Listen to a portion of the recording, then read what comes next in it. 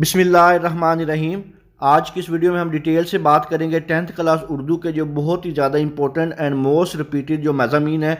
बहुत से बच्चों के बार बार कमेंट्स और मैसेज आ रहे थे कि सर, इसके ऊपर एक डिटेल से वीडियो बनाएँ, हमें कुछ चंद टॉपिक्स बताएँ, जिनको हम तैयार करके हमारा ये जो पंद्रह नंबर का सवाल है, ये हमारा हंड्रेड परसेंट अटैम्प्ट हो जाए। तो बच्चों, आपका टेंथ क्लास के उर्दू के पेपर में जो सवाल नंबर छः होता है, ये आपका उर्दू के ऐसे यानी कि मजामी वाला होता है। और ये जो सवाल नंबर छः होता है, इसमें आपके पास टोटल तीन टॉपिक दिए जाते हैं उन तीन में से आपने किसी एक टॉपिक के ऊपर डिटेल में ऐसे लिखना होता है और ये वाला जो आपका सवाल नंबर छः होता है, ये टोटल पंद्रह नंबर का होता है। और बार बार बच्चे यही पूछते कि सर, ये जो आपका क्वेश्चन नंबर सिक्स होता है, जिसमें हमने मजमून लिखना होता है, ये हमने कम अज़ कम कितने पेजेस पे लिखना होता है? यानी कि इसके लिए कम अज़ कम कितने पेजेस लिखें, कितनी हेडिंग लिखें और इसमें कितनी कोटेशन ऐड करने। तो इसमें मैं आपको डिटेल से यहाँ पे बताऊँगा कि आपने ये वाला जो सवाल है, सवाल नंबर छः पंद्रह नंबर का, इसमें आपने अहम तरीन जो मजामी है, वो कौन से करके जाने हैं? और जो ऐसे है, वो आपने कम अज़ कम कितने टॉपिक्स का, कितने पेजेस का, कितनी हेडिंग का लिखना है कि आपके इसमें से पंद्रह में से चौदह से तेरह नंबर जो मैक्सिमम आ सके। तो यहाँ पे आपको मैं डिटेल से बता दूँ कि आपका जो उर्दू का पेपर में जो ऐसे वाला पेपर क्वेश्चन होता है, इसमें आपने कम अज़ कम तीन से चार शीट के ऊपर आपने ये टॉपिक वाला जो ऐसे है, ये आपने लिखना होता है। बाद बच्चे कहते हैं कि सर, दो से तीन इनफ है तो ये बेटा बहुत ही कम है। आपने जो कम से कम तीन पेजेस का और ज़्यादा से ज़्यादा चार पेजेस का ऐसे लिखना होता है और इसमें आपने हर पेज के ऊपर कम अज़ कम दो कोटेशन अहादीस कोल वगैरह ऐड करने होते हैं। अगर आप ये चीज़ें ऐड करेंगे, एक तो चैकर के ऊपर इंप्रेशन बहुत अच्छा पड़ेगा और एक उसमें आपके नंबर आने के चांसेस बहुत ज़्यादा होंगे। तो आपने तीन से चार पेजेस का एक तो ऐसे लिखना है और दूसरा आपने कोशिश करनी है कि हर पेज के ऊपर जो ऐसे वाला पेज है, उसके स्टार्ट में और दरमियान में, यानी कि लास्ट से थोड़ा सा ऊपर। आपने दो कोटेशन अहादीस या कोई कोल जो है, उसके मतलब जो है, या शेयर जो है, आपने वो लाजमी ऐड करने हैं ताकि जो चेकर है, उसके ऊपर एक तो इंप्रेशन अच्छा पड़ेगा उसको पता चलेगा बच्चे को ये चीज़ आती है, उसने प्रिपेयर की हुई है। तो बेटा ये आपने कोटेशन का लाजमी ध्यान रखना है इसमें लाजमी तौर पर ऐड करनी है और कम कम से कम तीन पेजेस का और ज़्यादा से ज़्यादा चार पेजेस का जो ऐसे है, वो आपने लिखना है। जब आप कोटेशन ऐड करेंगे तो आपको यकीन करें, पता भी नहीं चलेगा चार पेजेस कम कब कवर हो गए क्योंकि ये जो दो पे आपने कोटेशन लिखनी है ना हर पेज के अंदर तो काफ़ी स्पेस तो यही ले लेते हैं। तो आपने कोशिश करनी है बेटा दो कोटेशन लाजमी ऐड करें और जब भी ऐसे को स्टार्ट करें, उसके स्टार्ट में भी एक कोटेशन अहादीस या कोल जो है वो लाजमी लिखें और जब ऐसे को एंड करें तो एंड पे भी एक लाजमी लिखें। इससे भी चेकर के ऊपर जो है बहुत अच्छा इंप्रेशन पड़ता है। जब आप स्टार्ट करें स्टार के ऊपर हदीस कोल या जो भी चीज़ उसके मतलब है, वो लाजमी देकर स्टार्ट करें, फिर ही जो ऐसे लिखने का मज़ा भी आता है और चेकर को भी पता चलता है कि बच्चे को वाकई इस चीज़ के बारे में नॉलेज है। तो ये था बेटा आपका जो पैटर्न है ऐसे को लिखने का। अगर इसके मतलब कोई मजीद सवाल हो हम मुझसे कमेंट सेक्शन में पूछ लीजिएगा। अब हम बात करते हैं मोस्ट इंपॉर्टेंट एसेज की, जो बार बार रिपीट हो चुके हैं टेंथ क्लास उर्दू के। तो मैं आपको कुछ टॉपिक बताऊँगा, साथ आपको मैं ये भी बताऊँगा कि ये आपके जो बोर्ड के पेपर में कितनी दफ़ा रिपीट हो चुके हैं। और किस किस बोर्ड में आने के चांसेस ज़्यादा हैं और आपने किन को ज़्यादा तैयार करना है, किन पर ज़्यादा फोकस करना है। तो सबसे पहले बेटा आपका जो most important and most repeated ऐसे है, ये बेटा आपका लामा इकबाल है। ये जो लामा इकबाल वाला ऐसे है, जिसको आप कौमी हीरो भी कहते हैं, ठीक है, कौमी शायर भी कहते हैं तो ये इस तरह भी आ सकता है। तो ये जो लामा इकबाल वाला बेटा है, कौमी शायर वाला जो है, कौमी हीरो जो है तो ये कौमी हीरो वाला जो ऐसा है, अगर आप पास पेपर की बात करें तो ये तेरह दफ़ा से ज़्यादा जो है पास पेपर में रिपीट हो चुका है। तो आपने सबसे पहले जो ऐसे तैयार करना है, ये आपने लामा इकबाल वाला करना है, ये पंजाब के जो तमाम बोर्ड्स के बच्चे हैं, उनकी बात कर रहा हूँ। उसके बाद बेटा आपने दूसरा दूसरे नंबर पे जो ऐसे तैयार करना है, आपने करना योम आज़ादी। अब बच्चे कहते हैं, सर, ये इतना इंपॉर्टेंट नहीं है। लेकिन बच्चों, ये बहुत ज़्यादा इंपॉर्टेंट है। अगर हम पास पेपर की बात करें तो ये बेटा चौदह से पंद्रह दफ़ा पास पेपर में रिपीट हो चुका हुआ है। तो आपने जब भी ये ऐसे बेटा तैयार करने हैं, दूसरे नंबर पर जो आपने ऐसे सबसे ज़्यादा इंपॉर्टेंट तैयार करना है, ये योम आज़ादी करना है। ये खास तौर पर जो बहावलपुर बोर्ड के बच्चे गुजरा वाला बोर्ड के बच्चे, सरगोदा बोर्ड के बच्चे और फैसलाबाद बोर्ड के बच्चे, ये वाला योम आज़ादी जो है, ये लाजमी करके जाइएगा और जो बाकी बोर्ड के बच्चे हैं वो सिर्फ़ एक नज़र इनको देख लीजिएगा। दूसरे ऐसे के बाद तीसरा ऐसे जो मोस्ट इंपॉर्टेंट है बेटा मोस्ट रिपीटेड है और इस दफ़ा आने के चांसेस हंड्रेड परसेंट है बेटा, वो है बेटा वालदेन की अतात।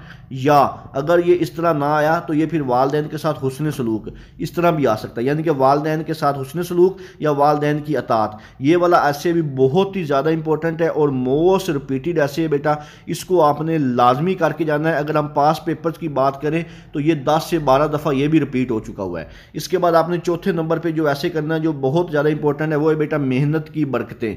अब बच्चे कहते हैं कि सर मेहनत की बरकतें तो हमने कभी देखा ही नहीं है। आप कोई भी पास पेपर उठा कर देख लें, ये मेहनत की की बरकते जो है, ये ग्यारह से तेरह दफ़ा जो है पास पेपर में रिपीट हो चुका है। क्योंकि मैं पास पेपर को बहुत डीपली एनालिसिस करके ये सारी चीज़ें, जो डाटा है, आपसे साथ शेयर कर रहा हूँ। पहले मैंने उनको सारा एनालिसिस किया, उसके बाद ये आपसे चीज़ें शेयर कर रहा हूँ कि ये जो ऐसे है, इस दफ़ा आने के चांसेस जो हैं, ये बहुत ही ज़्यादा है। इसके बाद नेक्स्ट वेरी इंपॉर्टेंट है, इसके आने के चांसेस भी हंड्रेड है बेटा, वो है आपकी वक़्त की पाबंदी।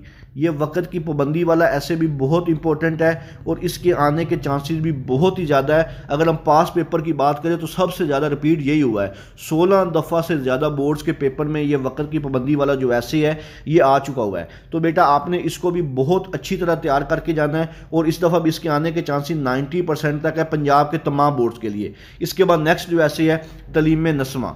वेरी इंपॉर्टेंट ऐसे है। ये तकरीबन आप बोर्ड का कोई भी पेपर उठा कर देख लें, उसमें ये वाला जो तलीम नस्ल वाला ऐसे ये आता होता है। अगर हम पास पेपर की बात करें तो चौदह से पंद्रह दफ़ा ये वाला जो ऐसे ये रिपीट हो चुका है। तो आपने तलीम नस्वा वाला हंड्रेड परसेंट पर रख के बेटा इसको तैयार करना है। और ये पंजाब के तमाम बोर्ड्स के बच्चों के लिए इसमें कोई भी मैं किसी बोर्ड को मैंशन नहीं करूँगा कि आप ये कर लो, ये वाले बोर्ड वाले छोड़ दें।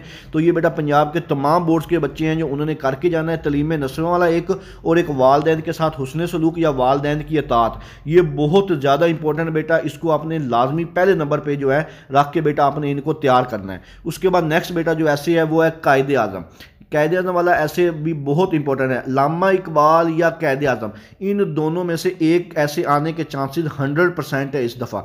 तो आपने जब भी ऐसे को तैयार करना है कैद आज़म और लामा इकबाल वाले जो ऐसे हैं बेटा, इनको आपने लाजमी तौर पर तैयार करना है, क्योंकि कैद आज़म और लामा इकबाल वाला, ये जो कैद आज़म वाला ऐसे है, ये बोर्ड में अठारह दफ़ा से ज़्यादा रिपीट हो चुका है। यानी कि इतना इंपॉर्टेंट ऐसे है ये। तो बेटा, इसको आपने लाजमी करके जाना है। इसके बाद नेक्स्ट जो आपका मोस्ट इंपॉर्टेंट है, वो है सलाब की तबाहकारियाँ ये बेटा जो सैलाब की तबाह कारियाँ वाला ऐसे है, ये भी बहुत ही ज़्यादा इंपॉर्टेंट है और बहुत रिपीटेड ऐसे है। तो इसको भी बेटा आपने लाजमी तौर पर करके जाना, सैलाब की तबाह कारियाँ वाला बहुत दफ़ा इंपॉर्टेंट है, बहुत दफ़ा रिपीट हो चुका है पंजाब के तमाम बोर्ड्स के बच्चों के लिए। आपने ये लाजमी करके जाना है, बहुत इंपॉर्टेंट है। इसके बाद नेक्स्ट आपका जो मोस्ट इंपॉर्टेंट है मोस्ट रिपीटेड जो ऐसे है बेटा, जो इस दफ़ा आने के चांसेस भी बहुत ही ज़्यादा वो है शहरी और देही ज़िंदगी का फ़र्क या मसाइल शहरी और देही ज़िंदगी का फ़र्क, यानी कि शहरी और देहाती ज़िंदगी जो होती है, शहरी और देहाती ज़िंदगी मैं यहाँ पे लिख देता हूँ। यानी कि इसके मतलब भी एक ऐसे जो है वो लाजमी आएगा, इनका जो इनके जो मसाइल होते हैं, उसके बारे में भी पूछ सकता है और इनके दरमियान जो फ़र्क होता है बेटा, उसके बारे में भी पूछ सकता है। तो ये भी बेटा आपने बहुत अच्छी तरह करके जाना है और इसके आने के चांसेस भी बहुत ज़्यादा है। अब मैं एक ऐसे आपसे शेयर कर रहा हूँ ये इस दफ़ा जो है समझ लें हंड्रेड परसेंट आना है और इसको भी आपने बेटा लाजमी करना है, बहुत इंपॉर्टेंट है, ये दो तरह से आ सकता है। या तो अगर आया तो या फिर ये ऐसे आएगा कौमी इतिहाद के नाम से। अगर इस तरह ना आया तो फिर ये आएगा कौमी इतिहाद के अलावा अगर आएगा तो तरीके पाकिस्तान के नाम से आएगा। इन दोनों ऐसे में से एक ऐसे आने के चांसेस जो है Bahawalpur board, Rawalpindi board, DG Khan board, Multan board, Faisalabad board, Lahore board और गुजरावाला बोर्ड। इनमें, इन दोनों में से एक जो ऐसे है, उसके आने के चांसेस जो हैं बहुत ज़्यादा हैं। इसको भी बेटा आपने लाजमी करके जाना है। इसके बाद नेक्स्ट जो है पंजाब के तमाम बोर्ड्स के बच्चों के लिए जो एक ऐसे जो मैं मोस्ट इंपॉर्टेंट बताने लगा हूँ, वो है बेटा तंबाकू नोशी के नुकसानात। ये जो ऐसे है, ये भी बहुत दफ़ा रिपीट हो चुका है। अगर हम पास पेपर की बात करें बेटा, ये जो ऐसे है, दस से पंद्रह दफ़ा ये आ चुका हुआ है। तो तलीम नस्वा के साथ अगर ये ऐसे आया तो तम्बाकू नोशी के जो है नुकसान वाला ऐसे है, इसके आने के चांसेस बहुत ज़्यादा है बेटा। इसको भी आपने लाजमी करके जाना है। बहुत इंपॉर्टेंट है मोस्ट रिपीटेड है, और एक जो लास्ट ऐसे आपसे बताने लगा हूँ, वो है बेटा एक दिलचस्प सफ़र। ये भी एक सफ़र वाला जो है, इसको भी एक नज़र लाजमी देखेगा, इतना इंपॉर्टेंट नहीं है। लेकिन आने के चांसेस जो है इसके भी लाजमी हैं, ठीक है? तो ये आपके मोस्ट इंपॉर्टेंट हैं। इसमें एक जो ऐसे है ना जो फैसलाबाद बोर्ड के बच्चों के लिए मुल्तान लाहौर और गुजरा वाला उनमें इस दफ़ा जो चांसेस है वो ई देन वाला भी है। लेकिन ये तकरीबन फोर्टी से फिफ्टी परसेंट है, इतना इंपॉर्टेंट नहीं है, लेकिन फिर भी इसको ई वाले को भी एक नज़र बेटा लाजमी देख के जाइएगा। तो ये थे बेटा आपके जो मोस्ट इंपॉर्टेंट मोस्ट रिपीटेड जो ऐसे हैं टेंथ क्लास उर्दू के पेपर में इन ताला पंजाब के तमाम बोर्ड्स के बच्चों में एक जो ऐसे है या एक से दो जो ऐसे हैं इन